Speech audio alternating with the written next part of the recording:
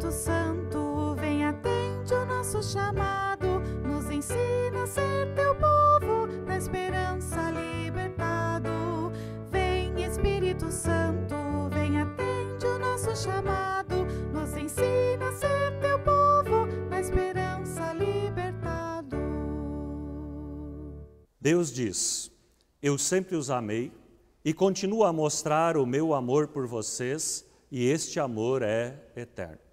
Com estas palavras do profeta Jeremias, acolho cada um, cada uma de vocês com grande alegria para o nosso culto aqui na Igreja da Paz. Nós, apesar de, de distantes, estamos conectados. E ali onde você está também possa sentir o abraço da comunidade evangélica de confissão luterana aqui de Joinville. Também acolho com palavras de Jesus Cristo que diz: Os olhos são como a luz para o corpo. Quando os olhos de vocês são bons, todo o seu corpo fica cheio de luz. Que assim também possamos nós olhar para a nossa história, para a nossa vida e possamos nós também ressignificar a nossa vida, olhando para a nossa vida com os bons olhos do nosso Senhor. Tirar muitas vezes os olhos daquilo que vivemos hoje e olharmos para aquilo que o Senhor espera que seja a nossa vida, boa, bonita e abundante. O nosso desejo que você possa sentir a presença do Santo Espírito do Senhor através desta celebração e que a paz do Senhor nos visite ali onde nós estamos. Com grande alegria, nós também acolhemos hoje entre nós, uh, estará também trazendo a mensagem a pastora Mike Marlise Kegel, colega pastora capelã do Hospital Unimed aqui de Joinville, que durante muitos anos também esteve à frente do trabalho uh, social aqui da comunidade evangélica de Joinville uh, e no departamento de diaconia. Que assim também hoje nós possamos ouvir a palavra do Senhor e que Deus também inspire a colega pastora que trará a reflexão. E ali onde você está, que você possa ouvir e também possa louvar junto esse hino quando cantamos sim, vale a pena viver.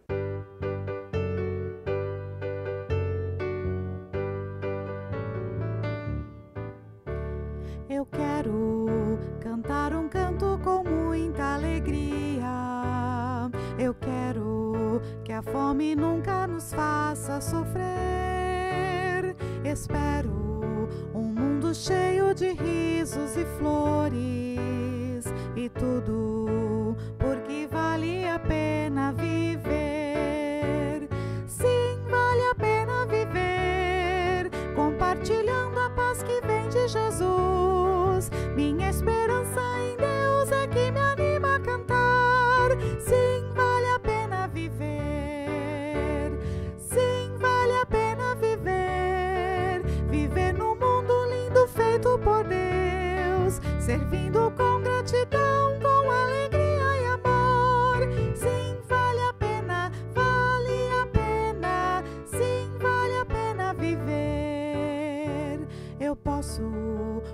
do mundo que Deus tem me dado. Eu quero o fim das guerras e lutas cruéis. Espero um mundo novo de gente abraçada e tudo porque vale a pena viver.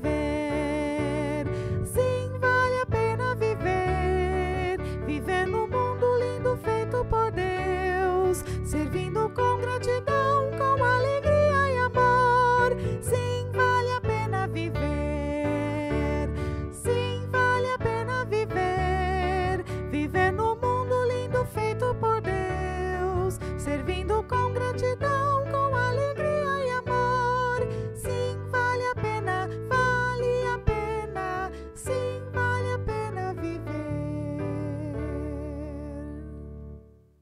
A mensagem é magnífica deste hino, sim, vale a pena viver.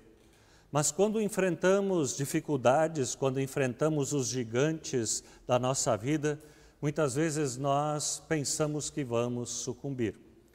E assim diz então a palavra de Deus: Davi disse para o gigante Golias: Você vem contra mim com espada, lança e dardo, mas eu vou contra você em nome do Senhor, o Todo-Poderoso. E assim, também com essa certeza, nós queremos nos unir, orar pelas dores desse mundo, pelas nossas, pelas dores deste mundo, para que o Senhor também possa fazer novas todas as coisas e possamos nós confiar também as nossas dores, as nossas fraquezas nas mãos do nosso Senhor. Assim como estamos, convido para uma palavra de oração. Deus, tu que enviaste ao mundo Jesus Cristo como príncipe da paz. Tu és o nosso Deus e nós somos tuas criaturas. Criaste-nos como perfume bom e agradável que contagia o mundo com o cheiro da justiça, do direito e da paz. Mas muitas vezes nós não espalhamos esse bom cheiro. Deus, toca o nosso coração, toca o coração de todos aqueles que estão assistindo. Encha daqui para frente a, a vida dessa pessoa com ânimo, disposição, coragem, sabedoria. Aplane os caminhos que ela precisa trilhar, traga as respostas que ela necessita, coloque no caminho dela as oportunidades que ela tanto tem orado. Deus promova na vida dela a cura, a libertação, a vida abundante em nome do Senhor, mas acima de tudo, que seja feita a tua vontade. Deus, cubra-nos com a tua bênção, com o teu entendimento com a tua sabedoria quando cantamos.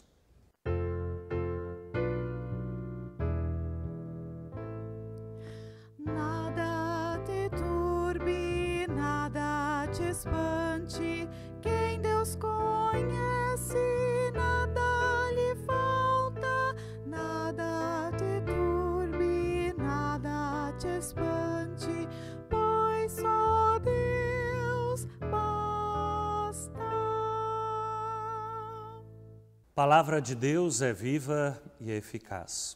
Com esta certeza, queremos ouvir a mensagem da palavra de Deus em Provérbios, capítulo 3, os versículos 16 a 24. A sabedoria oferece uma vida longa e também riquezas e honras. Ela torna a vida agradável e guia a pessoa com segurança em tudo o que faz. Os que se tornam sábios são felizes, e a sabedoria lhes dará vida. Com sabedoria, o Senhor Deus criou a terra, e com seu conhecimento colocou o céu no lugar próprio. A sua sabedoria fez os rios nascerem e fez as nuvens darem a chuva à terra. Filho, tenha sempre sabedoria e compreensão e nunca deixe que elas se afastem de você. Elas lhe darão vida e uma vida agradável e feliz. Você caminhará seguro e não tropeçará. Quando se deitar, não terá medo. O seu sono será tranquilo a noite inteira. Palavra de Deus é lâmpada para os nossos pés, luz para o nosso caminhar. Queremos colocar esta celebração também a pregação da pastora Mike sobre os cuidados do nosso Senhor quando nos unimos em oração. Senhor, abre nosso coração para ouvirmos a tua voz viva. Oramos pela presença e ação do teu Santo Espírito. Abre o nosso entendimento. Muda o nosso ponto de vista ali onde é necessário. Tira-nos das nossas falsas seguranças Ensina-nos a confiar em Ti. Torna-nos humildes e aumenta a nossa capacidade de escutar o que os nossos irmãos e as nossas irmãs nos falam. Ajuda-nos a ver o nosso próximo como templo do Espírito Santo, como nós mesmos o somos. Dá que a nossa vida se transforme a, através da tua palavra. Isso nós rogamos e oramos em nome de Jesus, nosso Senhor. Amém. E assim, ouvimos o interlúdio, onde eh, nós ouvimos: Louvado sejas Deus, Pai e Deus.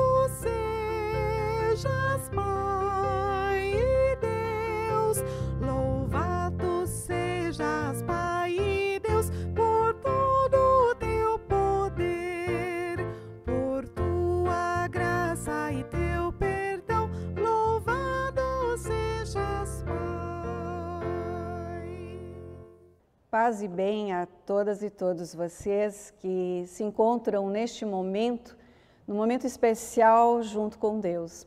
Foi Ele quem nos convidou a estarmos aqui, reunidas e reunidos sob o Seu nome, para ouvirmos a Sua palavra, para deixar que ela nos alimente. A palavra de Provérbios, ela fala em sabedoria. Gostaria de começar nossa reflexão pelo último versículo que foi lido. Quando se deitar, não terá medo, e o seu sono será tranquilo a noite inteira. Nós estamos há alguns anos agora, e já podemos falar em anos, né, deste tempo de pandemia, nesse tempo onde que deitar e dormir tranquilo estava muito agitado, estava muito longe de muitas pessoas. Será que agora podemos deitar tranquilos? Ainda temos preocupações, ainda precisamos ter cuidados. Mas quando nós pensamos como é importante este sono, como é importante deitarmos e não termos medo, porque o medo, ele provoca muita coisa ruim no organismo do ser humano. O medo também acaba abrindo portas para que doenças entrem dentro de nós. A ciência já tem estudado esta questão. Medo, medo de ser contaminado, medo de estar sozinha, medo de que alguém nos assalte, medo de que não daremos conta das coisas do dia de amanhã. O quanto é importante sabermos que quando deitamos, nós temos um Deus que vela o nosso sono. Que quando deitamos, temos um Deus que faz descansar o nosso corpo, o nosso cérebro, faz com que nós descansemos em Sua paz. A palavra de Provérbios ela está falando de sabedoria. E, e eu tenho refletido que a sabedoria é algo que todos nós temos. Todos nós temos sabedoria dentro de nós.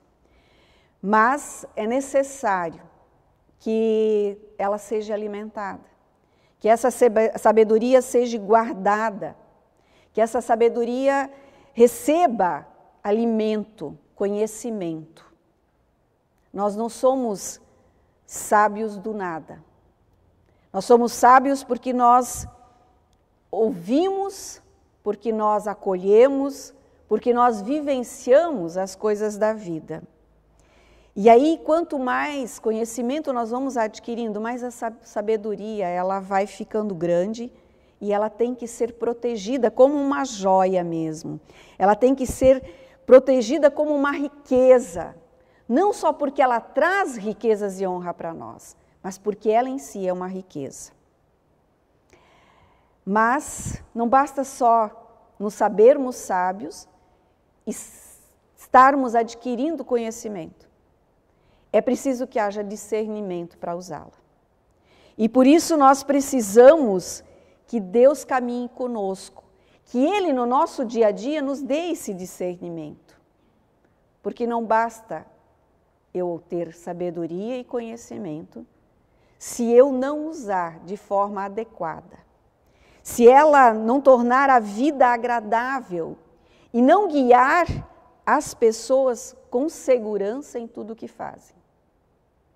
Para que possamos ser pessoas sábias e felizes, é preciso aprender a contar com a graça de Deus.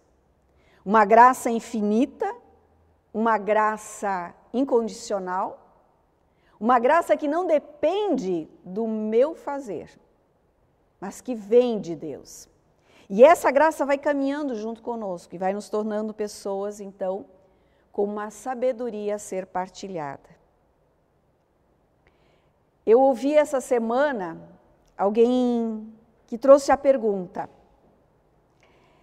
se Deus criou a terra, criou tudo, e criou tão perfeito a distância entre o Sol e a Terra, entre a Lua, o Sol e a Terra. Quem sou eu, um ser humano, para não acreditar que Deus existe, que Deus está aqui junto conosco? Se a ciência já provou que tudo é tão milimétrico ali, e que se não tivesse essa distância precisa, nós talvez já teríamos explodido com o calor do sol. É uma pergunta a ser pensada. São pessoas que estão usando o seu conhecimento, a sua sabedoria, para ter discernimento de lidar com aquilo que às vezes é o mistério de Deus, que é aquilo que vem de Deus e que nós não conseguimos responder milimetricamente. Diz essa palavra que tenhamos sempre sabedoria e compreensão, compreensão. Compreensão é algo que tem que caminhar junto conosco, porque a falta de compreensão entre nós nos afasta. Ela faz com que amizades sejam quebradas, com que famílias se desfacelem por falta de compreensão. Compreender o outro, compreender toda a sabedoria e o caminhar de discernimento da outra pessoa em colocar essa sabedoria adiante. A falta de compreensão com o limite do outro, com o caminhar da outra pessoa, ela quebra relações. Ela faz com que a vida deixe de ser uma vida agradável e feliz. E a primeira que é quebrada é a sua própria, quando você não compreende. Quando eu não compreendo o outro ser humano, a primeira vida que se quebra, que deixa então de ser agradável e feliz, é a minha própria. Por isso, cuidar da sabedoria que Deus me deu, buscar conhecimento e pedir que o Santo Espírito me dê discernimento para caminhar no dia a dia, fará com que eu caminhe seguro. Fará com que os meus passos não me façam tropeçar. Porque a gente tropeça. A gente tropeça com muita facilidade devido à nossa humanidade. E quando nós caminhamos por este belo caminho da sabedoria na companhia de Deus, quando nos deitamos, não teremos medo e o nosso sono será tranquilo a noite inteira. Oro e desejo que não esqueçamos esses anos que acabamos de viver. Que não esqueçamos que precisamos continuar cuidando com amor e carinho uns dos outros. Que nós precisamos não jogar fora os aprendizados que vieram com muita dor nesses últimos anos e que ainda estão aí no nosso caminho. Ainda estamos vivenciando muitos lutos e vamos viver muitos anos com esta dor no coração. Nós ainda estamos vivenciando a insegurança. A insegurança. No início da pandemia vivíamos com medo, um medo muito grande. Agora nós ainda temos insegurança. Segurança de entrar em alguns espaços, segurança de entrar em algum ônibus, segurança em estar numa festa maior de família. Essa insegurança ainda caminha conosco. Mas ela só se tornará novamente um grande medo se nós não olharmos para os aprendizados e não olharmos para aquilo que aconteceu, de que foi um Deus que caminhou junto conosco, que nos acolheu nestes momentos. Que tenhamos todos muito discernimento e continuemos buscando conhecimento para evitar novas pandemias, para evitar incompreensões, para que a sabedoria que Deus colocou no coração de cada uma e cada um de nós permaneça conosco e faça não só o caminho individual, mas faça o caminho coletivo agradável e feliz. Que Deus nos abençoe, que Ele nos ajude no caminhar e na continuidade deste caminho. Amém.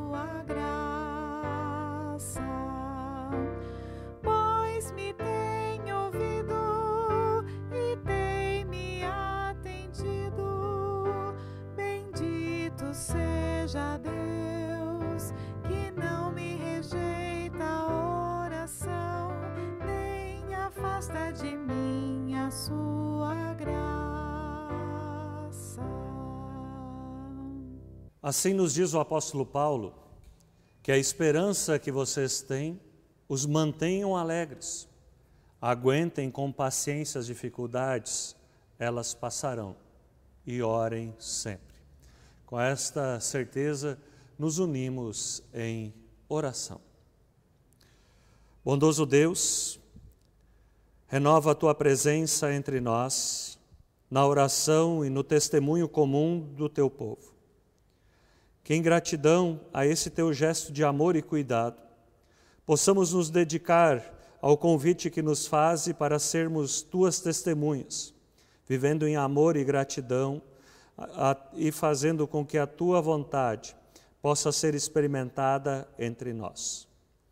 Escuta o nosso clamor em favor da tua criação, escuta o nosso clamor em favor das pessoas enfermas, enlutadas, em crises familiares ou financeiras. Senhor, a partir do teu cuidado, tenhamos condições de cuidar uns dos outros e sermos cristãos que vivem uma fé viva e atuante. Que nossa vida seja reflexo do teu amor, que possamos testemunhar a nossa alegria de sermos teus filhos e tuas filhas. Intercedemos pelos idosos, pelas pessoas que lutam com um orçamento apertado ou insuficiente. Concede a cada qual que necessita saúde, esperança, alento, coragem, sustento, dignidade. Usa-nos como tua comunidade para sermos o braço de entendimento e de sabedoria ali onde é necessário. Por Jesus Cristo, teu Filho, que contigo com o Espírito vive e reina agora e para sempre. Nós clamamos unidos e irmanados a oração que tu nos ensinaste, dizendo: Pai nosso que estás nos céus, santificado seja o teu nome, venha o teu reino, seja feita a tua vontade, assim na terra como no céu. O pão nosso de cada dia nos dá hoje, e perdoa-nos as nossas dívidas, assim como nós também perdoamos aos nossos devedores. E não nos deixes cair em tentação, mas livra-nos do mal, pois teu é o reino, o poder e a glória para sempre. Amém. Ali onde é necessário a bênção chegar na sua vida, que durante esse hino você possa cantar com esta confiança, com esta fé, que ali Deus pode fazer novas as coisas. Mas também onde você vê o medo, onde você vê a falta de sabedoria perto de você, que ali você também coloque isto sob os cuidados do Senhor. E você possa focar naquilo que você pode mudar e aquilo que você não consegue mudar, você coloque sob os cuidados do nosso Senhor. Pois assim nos diz a palavra de Deus: não tenham medo, pois eu estou com vocês, eu os abençoarei. Com esta certeza, nós ouvimos a benção irlandesa.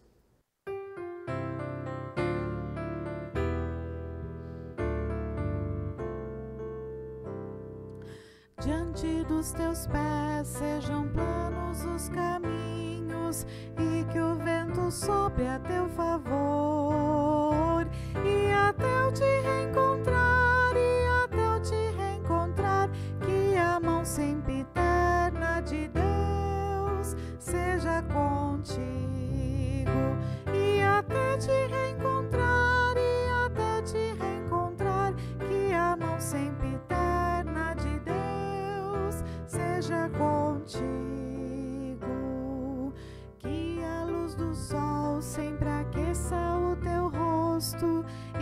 chuva molhe os teus campos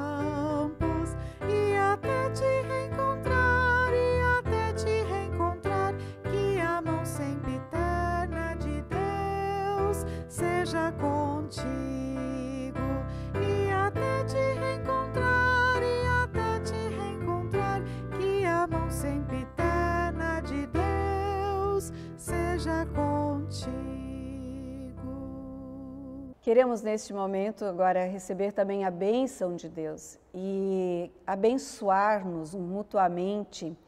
É um presente que nós damos ao nosso coração e também às pessoas que estão perto de nós. Se você tiver alguém aí pertinho de você, alcance a sua mão, o seu pensamento, faça com que essa bênção chegue também a esta pessoa e que Deus, através das nossas mãos, continue nos dando sempre a sabedoria que nos faz tão feliz.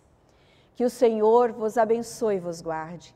Que o Senhor levante o seu rosto para vós e tenha misericórdia de vós. Que o Senhor vire a sua face para vós e te dê a sua infinita paz. E assim te abençoe Deus Pai, Filho e Espírito Santo. Amém.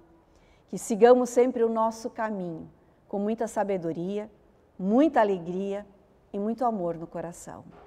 Amém.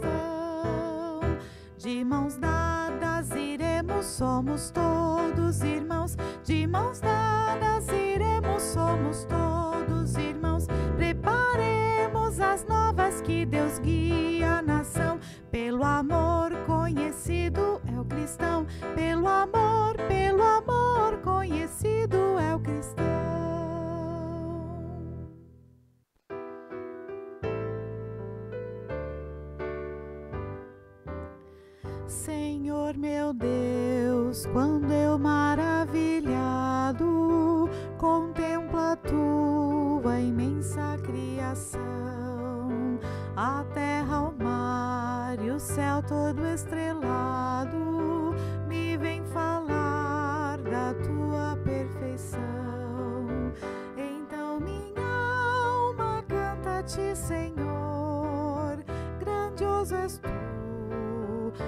maravilloso es tú.